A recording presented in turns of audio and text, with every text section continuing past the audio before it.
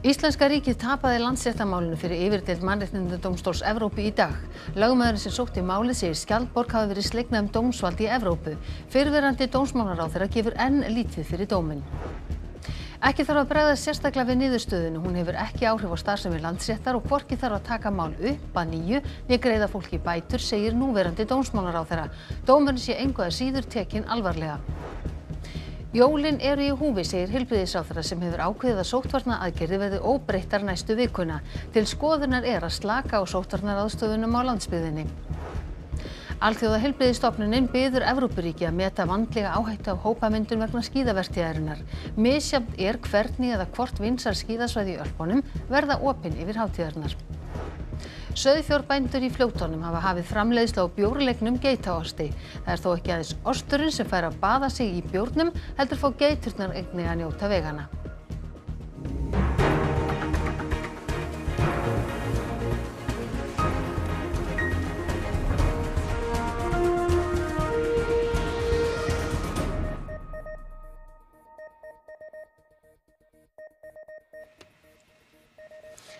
Komið þið sæl. Sigríður Andersen hunsaði viðvaranir og braut lög við skipun dómar í landsrétt sem hafi fyrir vikið pólitíska ásýnd. Þetta er innróma niðurstaða yfirdeldar mannréttindadómstólsins í fyrsta málinu sem hún dæmur gegn Íslandi.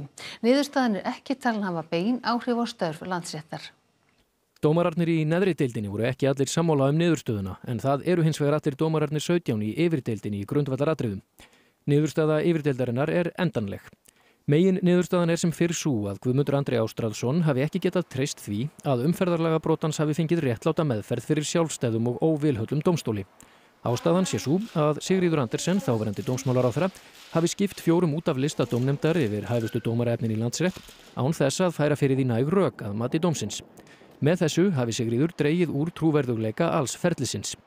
Þá er nefnt að það hafi verið sérstaklega til þess fallið að gera ferlið tortryggilegt að sjálfstæðisflokkurinn, flokkur Sigríðar, hafi verið í meirihluta í þinginu á þessum tíma og að atkvæði meirihlutans hafi dögað til að samþykja tillögu hennar að dómaraefnum. Það geti gefið skipuninni pólitíska ásýnd þótt að hafi ekki haft áhrif á niðurstöðuna í máli Guðmundur andra. Þá er brot Sigríðar sagt sérstaklega alvarlegt vegna þess að hún hafi ítrekkað verið mynd á sínar lögbundnu skildur meðal annars af sínum eigin ráðgjöfum og formanni höfnisnefndarinnar. Alþingi og hæstiréttur fá líka sinn skerf af gaggrinni í niðurstöðu mannréttindadómstólsins. Stofnanirnar hafi átt að vera öryggisvendlar til að koma í veg fyrir brotsigriðar en reynst gagslausir sem slíkir og því hafi ekkert getað hamið gethóttavaldinar. Alþingi greiti á sínum tíma atkvæði um alla dómarana í einu en ekki hvern fyrir eins og lögkveða áum og margir höfðu óttast að dómstólum þætti svo yfirsjón svo mikil að það myndi leiða til þess að allir dómararnir teldust ólöglega skipaðir. En í dómnum segir hins vegar að líklega sé ekki ástæða til að ganga svo langt. Þá segir í dómnum sem ekki kom fram í dómi neðri deildarinnar að þessi niðurstöða þurfi ekki sjálfkrafa að leiða til endur upptöku allra mála sem dómararnir fjórir demdu. Dómurinn í dag hefur engin bein áhrif á starf sem í landsréttar umfram það sem varði í fyrraskiptið samkvæmt upplýsingum þaðan. Síðan málið hófst hafa þrýr dómarana fjögura sem metnir voru ólöglega skipaðir verið skipaðir aftur í landsrétt.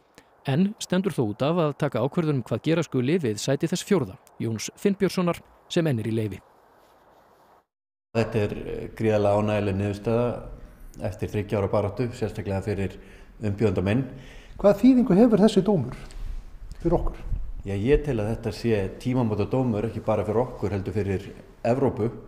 Ég treysti því að, að, að stjórnvöld og ráðamenn Evrópu þjóða, þeir hugsa sig nú tvísar um áður þeim fara að, að vega að sjálfstæði dómsválsins. Ég tel að þessi dómur mannreitnda dómsválsins eh, hafi slegið skjaldborg um sjálfstætt dómsvöld í Európu. Eh, Sigriður Andersen, hún eh, hefur tólkað þetta meira á þann vega eh, með þessu sé dómstólun að senda skilabóð til ímissa Östur-Európuríkja en fordæmið á heima hér líka.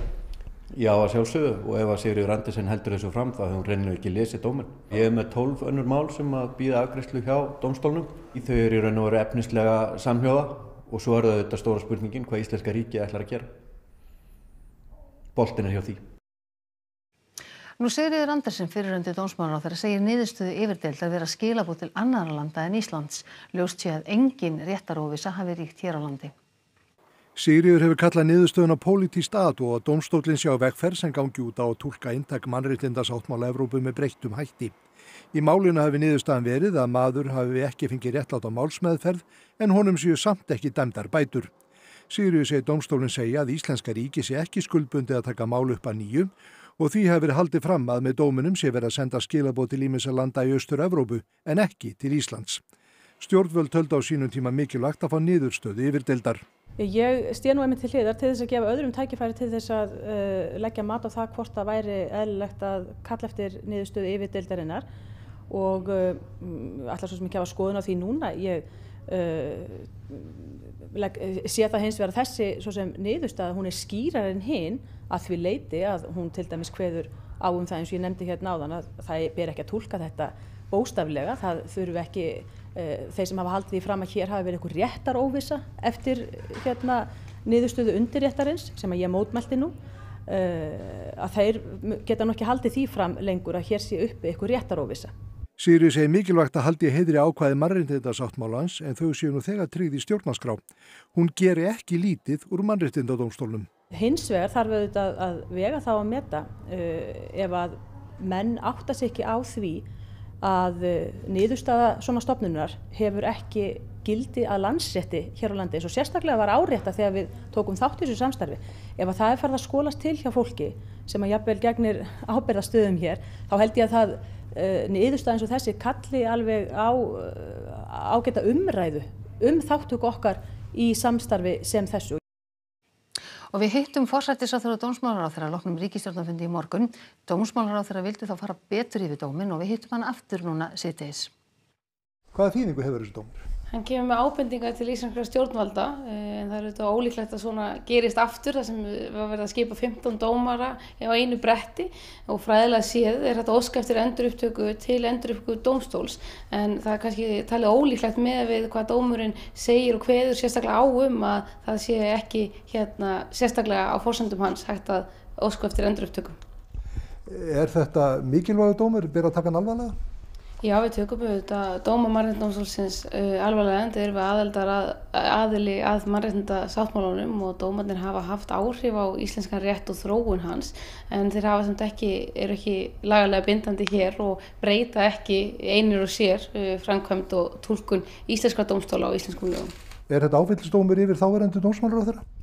Ég ætla ekki að tjá mig um það, það var auðvitað alveg ljóst að þegar uh, niðurstaða hæfistemndarna kom að það var ekki stuðningur við hana í þinginu og henni þurft að breyta.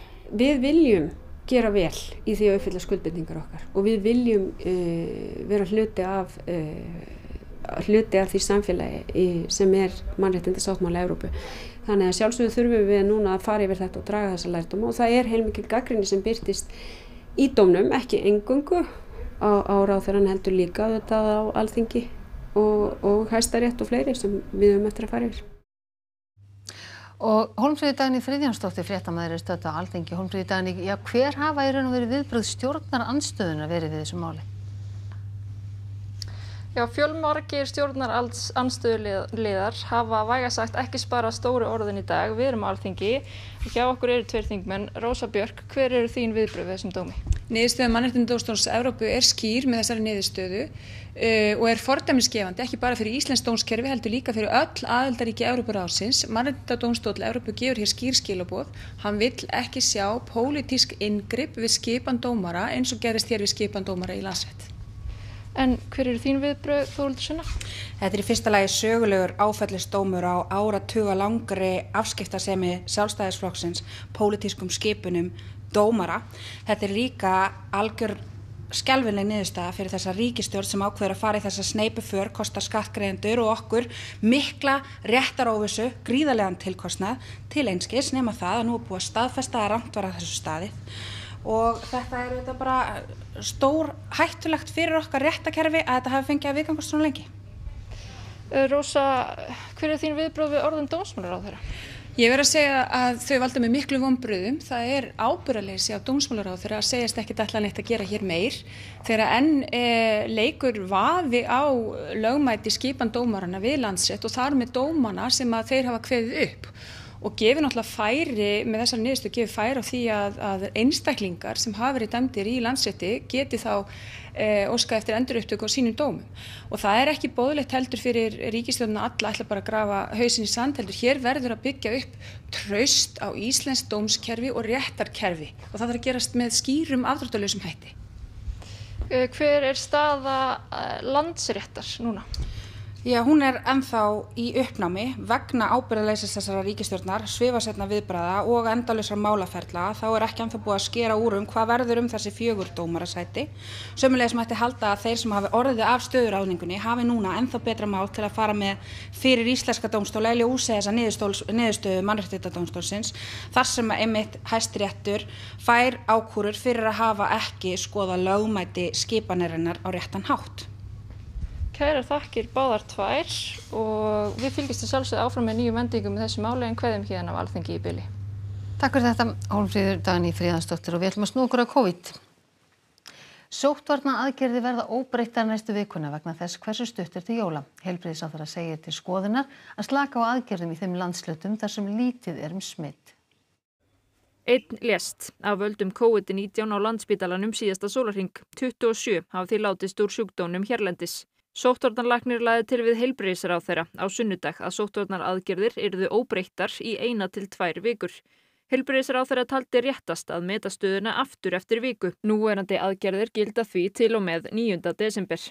Vegna þess hvar við erum stödd á dagatalinu eh, að þá eigum við að meta stöðuna jamt og þétt. Átján smitt greindust innanlands í gær, sjö þeirra voru ekki sótkví. Svo vorum við líka aðeins að skoða uh, dreifingu smita á landsvísu og uh, við höfum uh, rætt það að það kunni að koma til þess á einhverjum tímapunkti að vera með mis stífar aðgerðir eftir uh, landslutum þannig að það er eitthvað sem okkur finnst koma til álita og ætlum að skoða áfram á næstu dögum. 93% greindra tilfella í síðustu viku voru á höfuborgarsvæðinu. Þar eru því núna 167 í einangrun. Utan þess eru 32 smitt ekkert á Östurlandi og Norðurlandi vestra og 2 á vestfjörðum og vesturlandi. Í síðustu viku, áður en greindum tilfellum fór að fjölga, hafði sóttvarnarlagnir lagt til að fjöldatakmarkanir ætti að miðast við 20 manns, opnun sundlega með takmarkunum, líkamsrættastöðvar eruðu áframlokaðar en íþróttæfingar innan ISI leifðar. Helbriðisar á þeirra er bjart sín á að það takist að ná böndum á faraldrinum fyrir jól. Það fyrsta lagi eru jólinn í húfi og, og svo í öðru lagi bara það að við séum á góðum stað með faraldrin þegar bóluefnið kemur og þeir eru förum að geta bólusett og, og sem að verður ef allar spár ganga eftir eh, á fyrsta fjórðungi næsta árs og þannig að það er til mikils að vinna við náum að halda faraldunum vel niðri fram að þeim tímapunkti. Tveir hefðu minnsta létust og 15 slösuðust sumir alvarlega þegar bíl var ekið á gangandi vegfærindur á göngugutti í borginni Tríer í vesturhluta Þýskalands í dag. Ökumæðurinn hefur verið handtekinn en lögregla hefur ekki gefið upp hvað nákvæmlega gerðist. Borgarstjóri Tríer sagði við dag að svo virti sem ökumæðurinn hefði fengið æðiskast. Bílnum var ekið á tölvurinn hraða eftir gönguguttinni um 1 km áður en lögregla stöðvaði för. Og þá ætlum við að snú okkur að veðrinu því fyrsti norðan kvellurinn skellur með látum á landin í nótt og viðvaranir eru í gildi um allt land. Byrsta líf uh, Kristinsdóttir veðurfræðingur, já hvenar brestur þetta á og hvar verður það verst?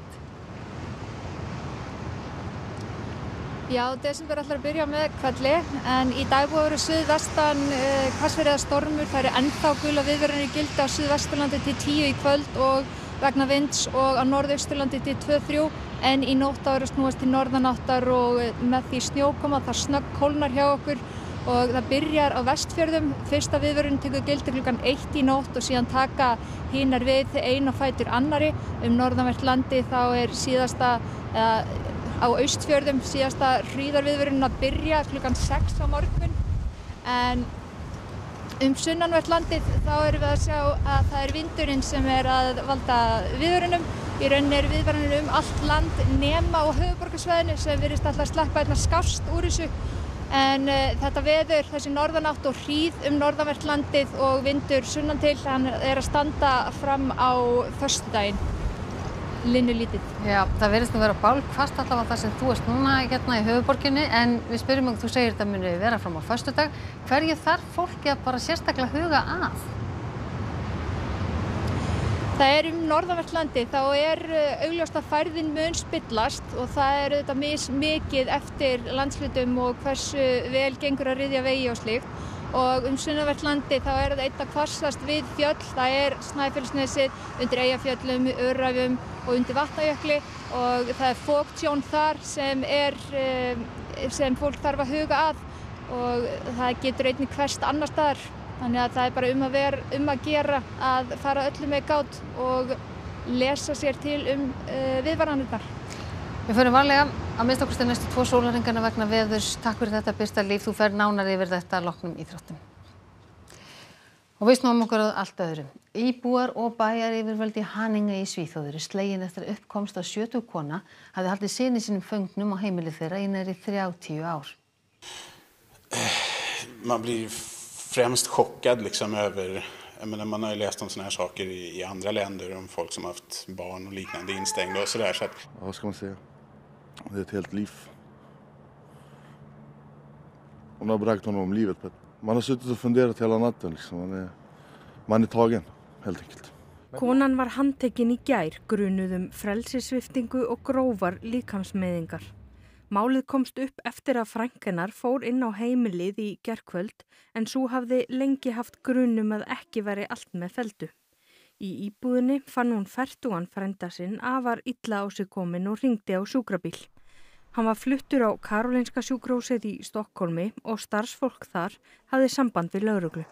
Þá kom í ljós að móður hans hafði haldið honum inn í lokuðum í 28 ár eða frá því hann var 12 ára gammal.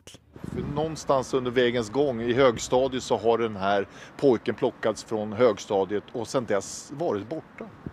Ja, det verkar ju så enligt de uppgifter som hittills har kommit fram. Men jag har inte några fler detaljer än så. Men det är som sagt en fruktansvärd och tragisk händelse och det är svårt att finna de, de rätta orden för det. Maðurinn var hrættur og vanærður þegar hann fannst og átti auk þess erfitt með að tjá sig og hreyfa. Det vi ska göra nu det är alltså att kartlägga den här mannens levnadsomständigheter och hans situation. Och vi ska höra en hel del vittnen. Vi kommer också under den närmaste tiden här genomföra en brottsplatsundersökning i bostaden. Það er misjant hvort og hvernig vinsal skíðasvæði í Európu verða opið um hátíðarnar. Alþjóða heilbriðistofnunin hvetur Európuríki til að meta áhættuna af hópamyndun og ferðalögum tengdum skíðavertíðinni. Þúsundir flykkjast nú á skíðasvæðin í Prahovedal í Rúmeníu. Hermenn ganga um svæðið og fylgjast með að reglum sé fyllt. Sinaia este în scenariu 3, în care clienții au voie să servească masa doar la terasă. Þá ákveði yfirvöld í Pólandi að hafa allt opið þar en fólk þarf að bera grímur og halda fjarlægt.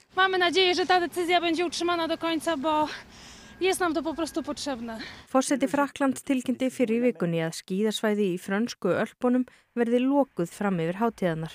Yfirvöldi í Þýskalandi og Ítalju taki sama streng að meðan Austuríki og Sviss eru tregari til þar sem þau hafa áhyggjur af efnahagslegum afleðingum. En önnur ríki í Evrópu hafa áhyggjur af ferðalögum um álfuna og hvetja fólk til að sleppa skíðaferðum í ár. Uh, comme je l'ai dit, c'est fortement déconseillé. Je pense que le mot d'ordre reste qu'il faut rester très très prudent. Áhættan fælst í hópamyndun sem ferðalögum sem þessum fylgir, segir alþjóða heilbriðistofnunni. Margir ferðast saman í einni rútu, hópast saman á vinsæl skíðahótel og sameinleir snertifletir eru í skíðaliftum. The issue is any activity that involves large numbers of people moving into a concentrated space and then using public and other transport to get there and back needs to be managed carefully and it needs to be managed, as Maria said, with a very much a risk management approach.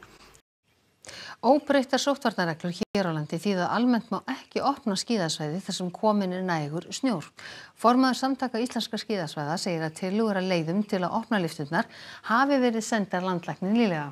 Þó menn hafi vonast til að geta opnað í byrjun desember sé niðurstaðan skiljanleg miðað við ástandið. Hann lítur svo á að skíðaningar barna og ungmanna séu heimilegar eins og í öðrum íþróttagreinum og opna með í skíðagöngusvæði með ákveðnum takvöngunum. Í skíðagöngu sé auðvelt að verða fjarlæðarmörk og farað settum reglum um sótvartir. Þeir seljast eins og heitar lumur, segir söðfjárbóndi í fljótonum um bjórlegin geitaost sem framleitur er á bænum brúnastöðum. Bjórin kemur þó víðar við sögu í framleiðslunni því geiturnar sjálfar fá að njóta góðs af bjórframleiðsla á Siglufirði. Þetta er mjöltaðinni sem við notum, sem þetta svona bara fattfötu kerfi gengur í rafmagni og við mjölkum sér fjórar föt, geitur með hverju fötu og erum með þrjú svona sett, þannig að við mjölka tólf geitur í einu eða kindur. Hjónin Stefania og Jóhannes hafa lengi gengið með draumum heimavinnslu á afurðum af búinu. Það var svo árið 2018 sem þau letu verða að því og hófu framkvæmdir. Þetta er náttúrulega ekki mikið magn sem við erum með núna í haust, eitthvað um 200 kíló. Það verða ekki margir ostar úr, úr þessum 100 lítum sem fara í ostatankin. Það er bara svona 10% af geitamjölkinni sem verður ostur. En þeir seljast eins og heil þarfumur. Er þetta arðbær business, geita mjölk og geita ostur? Ég hugsa að það gæti alveg borga sig e, á, eftir ákveðin tíma. Þráttur að hafa sótt námskeið í ostagerð fengu hjónin mjölkurfræðing með sér í lið við hönnun og vinslu fyrstum sinn. Svo allt er komið upp svo hugmynd af því að geitunum fór hratið hérna frá segli, já, seglufyrri, brugvægsmiðinni, að, að, að dætt okkur í huga að gefa hennu smá bað líka upp úr björnum. Og það var svona, hugmyndin var nú kannski að fá bara aðra lit á, á skorpuna. En svo kom það bara í ljós að það var að gera trikki við ostin. En það er ekki bara osturinn sem fær að baða sig í bjórnum, heldur fá geiturnar einnig að njóta. Og þetta er mjög gott fyrir þær, getur getið mikið að þessu aðeins að vera veikar eða og líka vel við þetta. Svo er náttúrulega pínu áfengi í þessu en það eru svolítið mildar. Og ég ætla að gefa ykkur bara pínu, pínu smakk, fara hérna niður til þeirra. Ég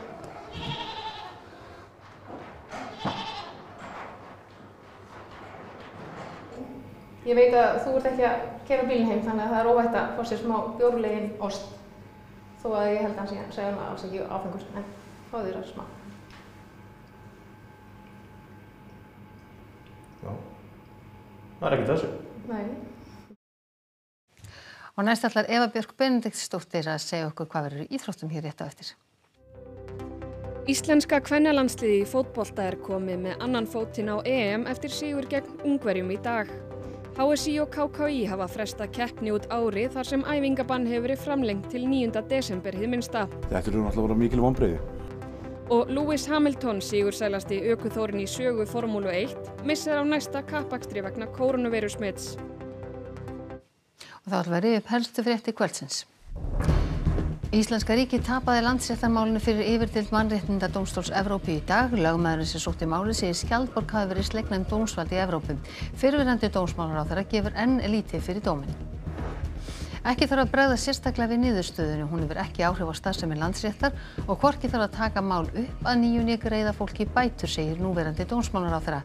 Dómur sé engu að síður tekinn alvarlega. Jólin eru í húfi, segir heilbriðisráþara sem hefur ákveðið að sóttvarnaaðgerði verði óbreytta næstu vikuna. Til skoðunar er að slaka á sóttvarnaraðstöfunum á landsbyðinni. Alþjóða heilbriðistofnunin byður Evrópuríki að meta vandlega áhættu af hópamyndun vegna skíðavertíðarinnar. Misjandi er hvernig eða hvort vinsal skíðasvæði í Ölpunum verða opinn yfir hátíðarnar. Þessum fréttatíma er lokið og það er komið að íþróttum að veðri og síðan er á dagskrá ávarp fórseta Íslands. Nýjastu fréttir má alltaf finna inn á rú.is en það eru næst fréttir hjá okkur í útvarp og sjónvarp klukkan 10 kvöld. Við sjáumst þá. Verðið sæl.